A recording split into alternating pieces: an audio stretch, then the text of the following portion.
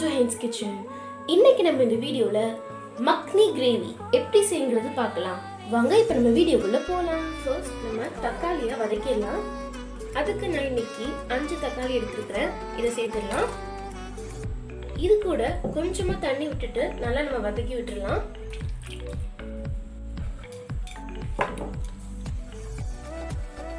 இது கூட ஐம்பது கிராம் முந்திரி சேர்த்துடலாம்.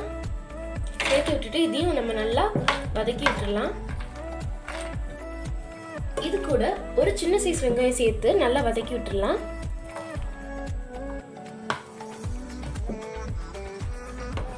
இப்போ இந்த அளவுக்கு நல்லா வந்ததுமே நம்ம ஒரு மிக்ஸி ஜார்ல இதை அரைச்சிடலாம். இந்த கன்சிஸ்டன்சி இருந்தா போதும். ஒரு பேன்ல டூ டேபிள் ஸ்பூன் ஆயில் ஒரு துண்டு பட்டை ரெண்டு கிராம்பு ஒரு ஏலக்காய். இதை போட்டுடலாம். இது கூட கால் டேபிள் ஸ்பூன் சீரகம். சேர்த்துட்டு நம்ம நல்லா இதை வதக்கி விட்டுடலாம். இப்போ இது கூட ஒரு பச்சை மிளகாய் சேர்த்துட்டு இஞ்சி பூண்டு பேஸ்ட்டு கொஞ்சம் சேர்த்து நல்லா வதக்கி விட்டுடலாம்.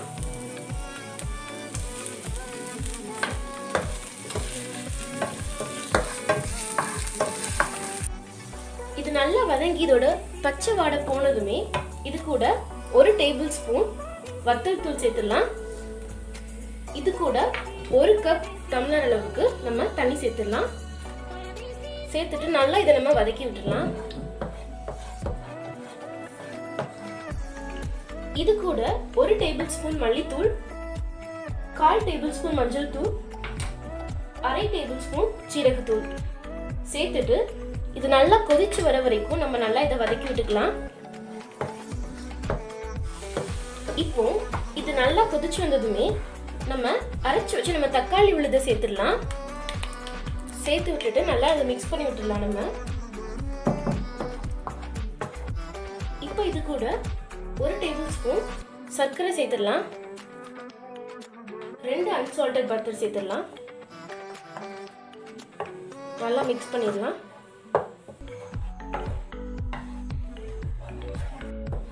இது கூட தேவையான அளவு உப்பு சேர்த்து விட்டுட்டு நல்லா இதை மிக்ஸ் பண்ணிடலாம் கடைசியா இது கூட அரை டீஸ்பூன் கரம் மசாலா சேர்த்து இதை நல்லா மிக்ஸ் பண்ணிட்டோம்னா நம்மளோட மக்னி கிரேவி ரொம்ப ஈஸியா ரெடி ஆயிடும்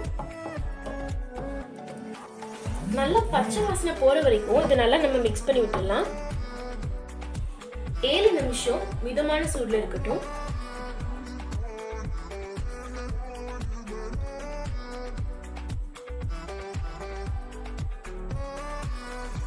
ஸோ ஃபைனலாக நம்மளோட மக்னி கிரேவி ரொம்ப ஈஸியாக ரெடி ஆகிட்டு இது வந்து ஒரு பெஸ்ட் சைட் டிஷ் நம்ம வந்து இது தோசைக்கு சப்பாத்திக்கு எதுக்குனாலும் வச்சு நீங்கள் சாப்பிட்லாம்.